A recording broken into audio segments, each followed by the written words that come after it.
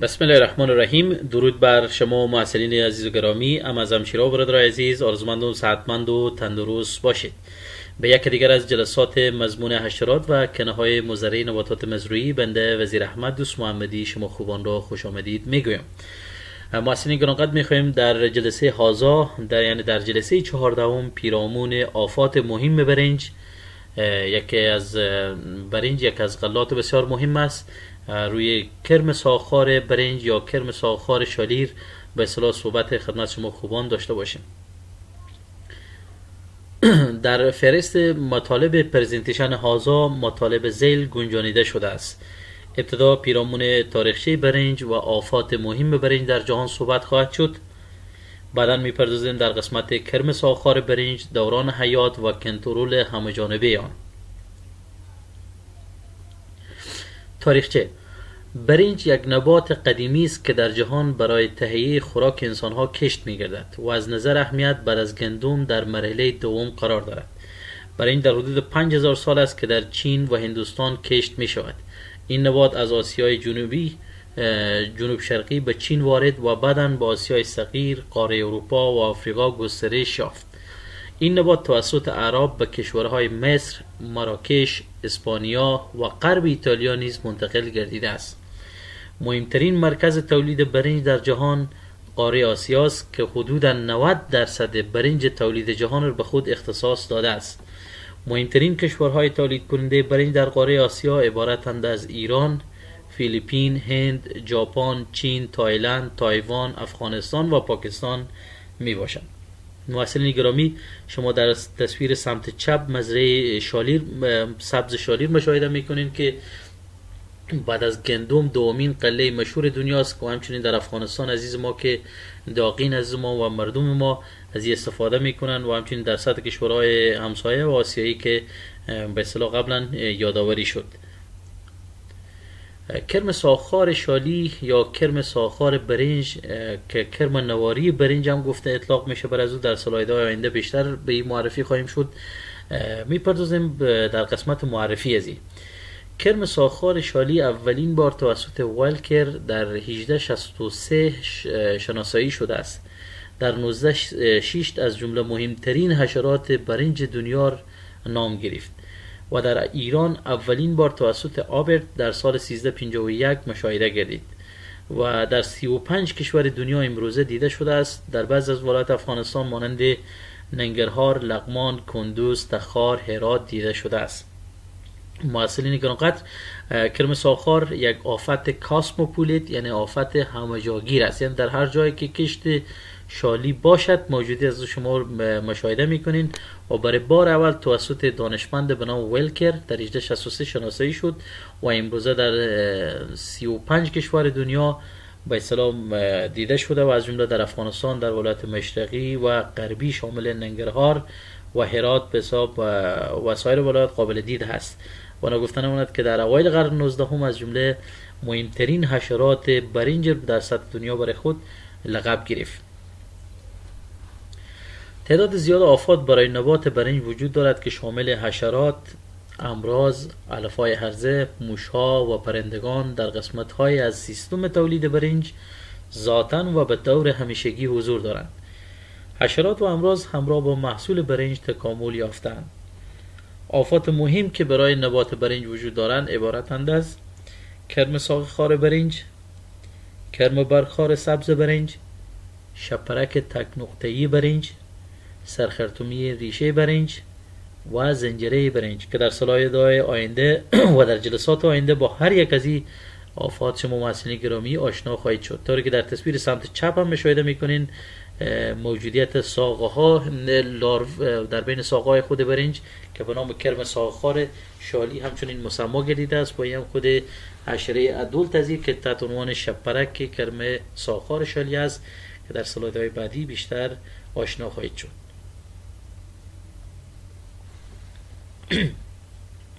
اگر برای کنترل شان توجه صورت نگیرد می تواند قسمت زیاد از مزرعه برنجر توسط آنها مصرف شود. تذکر باید داد که در حدود 100 نوع مختلف حشرات 100 نوع حشرات مختلف 74 قسم مرض و 800 نوع علف عرضه گزارش شده است که دامنگیر نبات برنج است. از اینها سینه و حشره 67 قسم مرض و 15 نوع فرض از جنبه اقتصادی مورد توجه و خیلی مهم می باشند محصلین گرامی طور که قبلا هم یادآوری شد آفات مهم برنج در جلسات آینده و سالات آینده بیشتر آشنایی پیدا خواهید کرد که از جمله در تصویری که شما در سمت چپ مشاهده می‌کنین با اصطلاح بقمه شدن و یا قدی شدن ریشه خود برنج حکایت از یا بیانگر از حمله نیماتود هاست.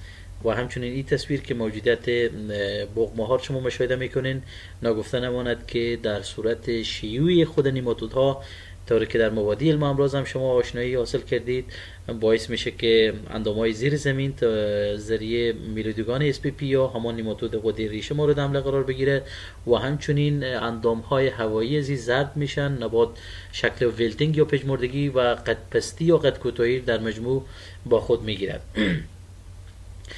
تصویری که شما مشاهده می‌کنید متعلق است به زنجره یک از آفات مهم. برنج است زنجرها که اینا ناقلین امراض فایتوپلازما و ویروسی همچنین هستند که شما در تصویر مشاهده می‌کنین. تغییر رنگ پیدا کرده مزرعه شالی و در مجموع حاصلات از لحاظ کمی و کیفی در یک سطح بسیار پایین قرار گرفته است.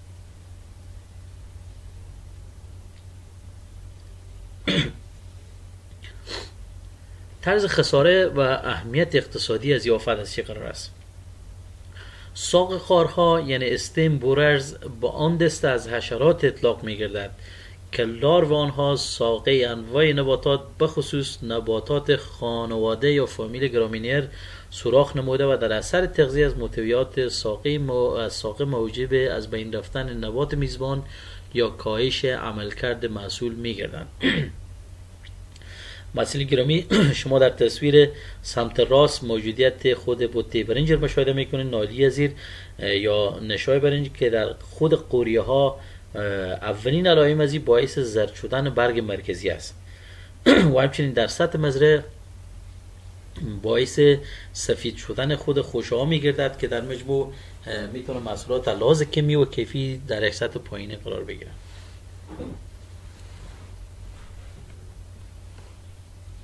مشخصات از یافت. حشره کامل زی طول بدن بین 10 تا 13 میلیمتر است. عرض حشره ماده بین 35 تا میلیمتر 35 میلیمتر. حشره نر بین 20 تا 23 میلیمتر. در مجموع برای خود به اصطلاح اندازه احاطه کرده است. و همچنین شما یک از راه تفکیک خود جنس مذکر و مؤنث محسن گرامی همی است که اندام های جنس مذکر مؤنث لحاظ فیزیکی و بزرگی نسبت به جنس حشره نر به اصطلاح بیشتر است. فلازا حشره ماده 35 میلیمتر و حشره نر بین 20 تا 23 میلیمتر طول دارند. رنگ از اینا دارای رنگ زرد است. متمایل با قوی روشن طوری که شما در تصویر مشاهده می‌کنین بالهای عقبی ازی زرد متمایل به سفید و یک سری مویک های در قسمت اخیر خود دارد. این هم تصویر از خود گذاشتن تخم ازی حشره است به اصطلاح که یک نماده چسماک در سطح برگ به اصطلاح روی گذاشته شده است. و همچنین خود لارو که در موجودیت در بین ساقه هاست که از این سبب است که به نام کرم ساقه خوار شالی مسما گردیده است. فلحاظا خود در مشخصات از حشره کامل از شپرک است دارای استحاله مکمل است یا complete metamorphosis است. لاروزی در مریل آخری نمو تا 26 میلیمتر می‌رسد. عرض سر دارای دو میلیمتر رنگ سر دارای زرد روشن متمایل با قهوه‌ای. در سطح پشت بدن ای خود ازی پنج خط داره و همچنین شفیره یا پیوپایزی دارای رنگ قهوه‌ای روشنه. طول ازی بین 11 تا 13 میلیمتر است. قطر ازی 3 میلیمتر در بهار و تابستان داخل ساقه ها به اصطلاح ای زندگی می‌کنه و باعث متضرر ساختن خود نبات شالی می‌گیره.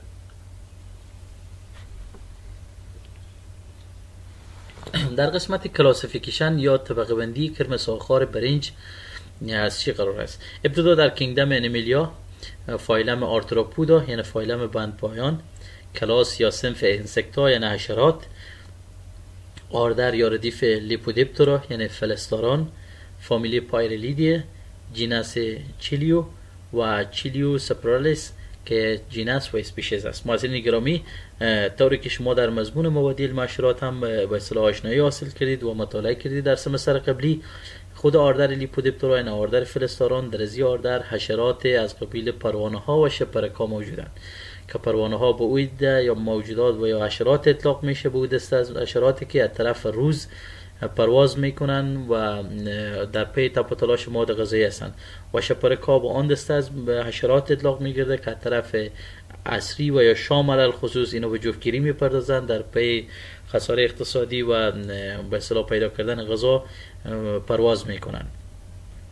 family Pyralidae که دقیقا کرم ساقه‌خوار هم یک از آفات مهم از این صنف است از این ردیف است بالاخره در order Lepidoptera هست. به می فامیل تعلق داره. فامیل فامیل Pyralidae Noctuidae اینا از جمله فامیل های بسیار مهم در order Lepidoptera ن که اکثر آفات زراعتی در دو فامیل مذکور متعلق داره محصلین گرامی در قسمت species Chilo suppressalis به اصطلاح suppressalis شما می‌تونیم که underline ر در وقت امتحان underline و یا خطک در پایین قسمت genus و species استفاده کنیم و یا در وقت computerize به شکل italic ر بر خود بگیره طور که شما در تصویر مشاهده می‌کنین Chilo suppressalis ای خود از شکل italic ر بر خود گرفته است که species و یعنی genus و species است.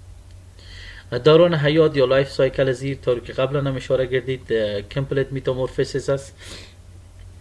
زمستان گذرانی از روی بقایای نباتی و گیان هرزه این می‌تونه که به به شکل لار و کامل سپری کنه زمستان گذرانی کنه.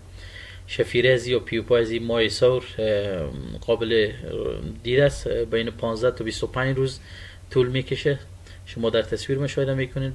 و همچنین هر حشره ماده به طور 200 تا 230 عدد تخم رسخو به جا می‌گذاره که در سلایدهای قبلی دستجات تخم از شما مشاهده کردین.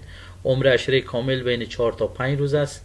تغذیه لارو 30 تا 45 روز در داخل ساقه در بر می‌گیره. شما باز هم متضرر بودن یا خود ضرر رساندن لارو در سطح نبات شالی مشاهده می‌کنین. دوره شفیرگی تقریبا در بین 6 تا 12 روز در بر می‌گیره. و تعداد نسل که می‌گذاره بین یک تا سه نسل است. در صورتی که شرایط موی اقلیمی و محیطی بر ازی فراهم شود. لحاظ درجه حرارت نوعیت میزبان توانایی زیرم داره تا شکل ماکسیموم از سه نسل از خود بجا بگذاره.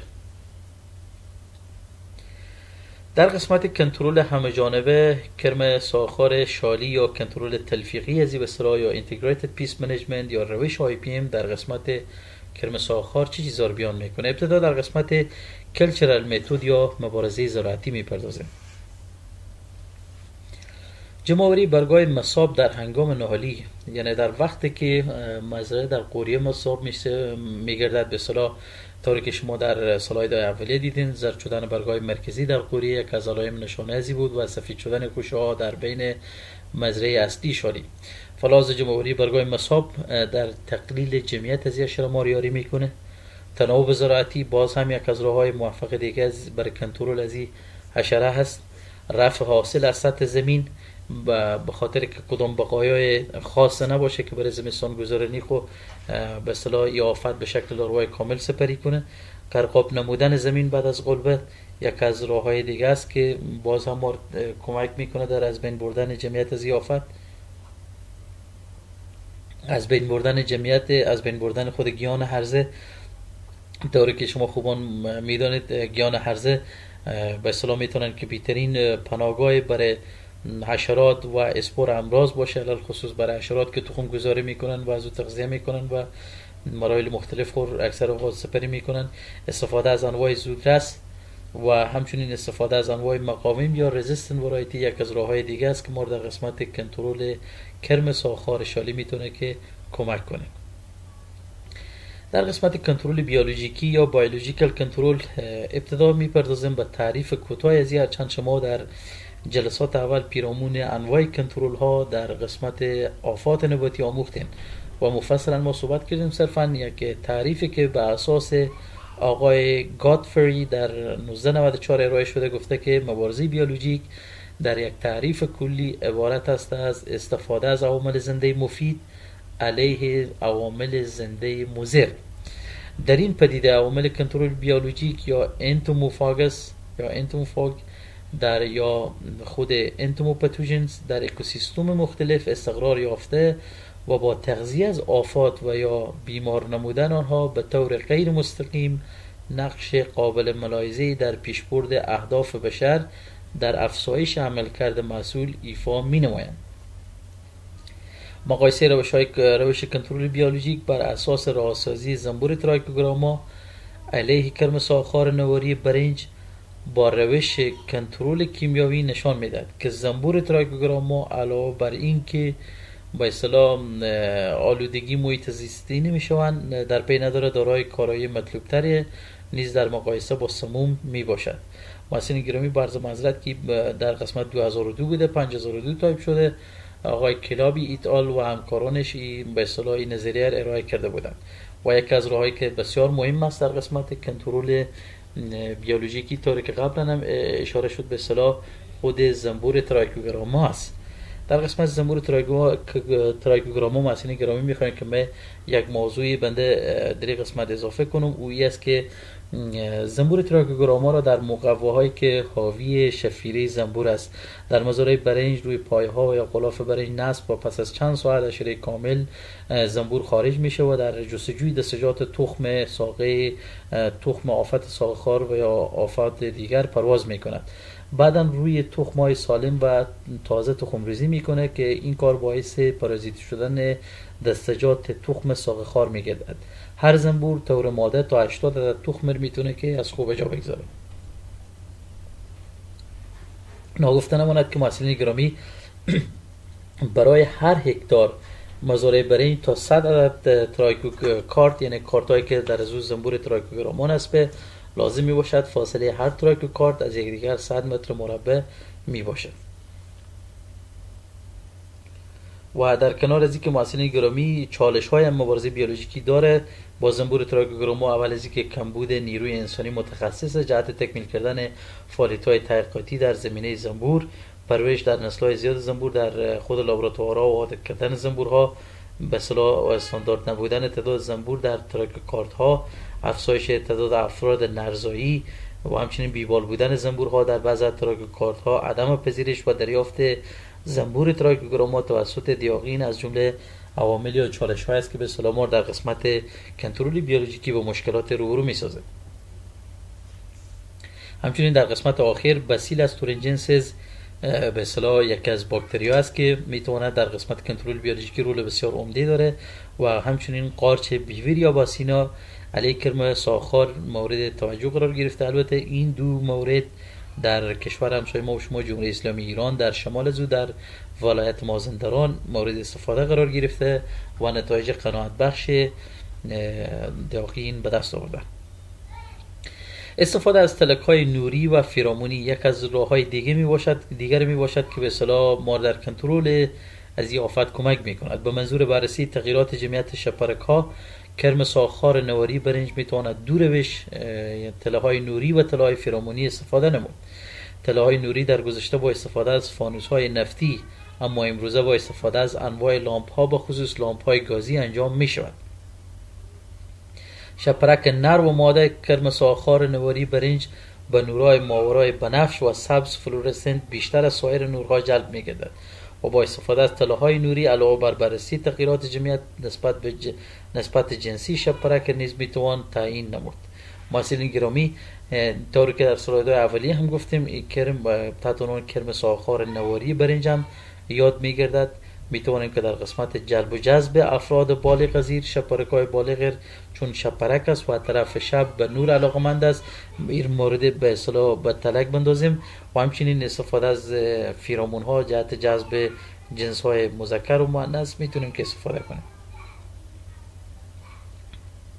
در مبارزه کیمیاوی که آخرین سلا به اصطلاح آخرین سلاح هست در قسمت پروسه integrated pest management یا کنترل همه جانبه آفات بیان می‌کنه که اولین ادویه پاشی بعد از 21 روز بعد از به اصطلاح نهالی استفاده شد و همچنین بعد از دومین ادویه پاشی سه هفته بعد و سومین ادویه پاشی سه هفته بعد از دومی استفاده هر یک از حشره‌کش‌ها شامل فیپرونیل، دیازینون، ماترین، کارتاپ و ایمیداکلوپراید موثر است. ناگفته نماند که در کشورهای همسایه امروزه فیپرونیل استفاده می‌کنن و بسیار نتایج مثبت داده و همچنین دیازینون هم از گروه فاسفورا است که باز هم نتیجه قناعت بخش داده و امید کلورپراید از جمله حشرکش های سیستمیک است که خوشبختانه دیازینون امید کلورپراید در افغانستان و در مارکت های هرات قابل دسترس است. می‌خوایم محسن گرامی یک نکته اشاره کنم که زیر نظر متخصص بخش مربوطه هر یک از ادویجات یا عشر کشار می‌تونیم استفاده کنیم و داره کارنز یا آخرین سامپاشیر تا برداشت محصول حداقل بین 10 تا 15 روز باشه مد نظر بگیریم. محسن گرامی به پایان جلسه 14 هم رسیدیم. تشکر از اویسل مندی تک تک از شما خوبان. پل ارتباطی با ما 0797 870 865 در صورت که کدام سوال انتقاد و یا پیشنهاد پیرامون پرزنتشن امروزی دارید می‌توانید با ایمیل آدرس زیر و شماره تلفنی که در دسترس شما خوبان قرار گرفته با ما در میان بگذارید. تا دیدار بعد بدرود. همگی شما خوبان رو بالای پاک میسپارم. شاد و کامگار موفق و سرفراز باشید. و در امان یا دور از شر ویروس کرونا باشید. تا دیدار بعد بدرود. همگی شما خوبان و بلای پاک میسپارم. السلام علیکم و رحمت الله تعالی و برکاته.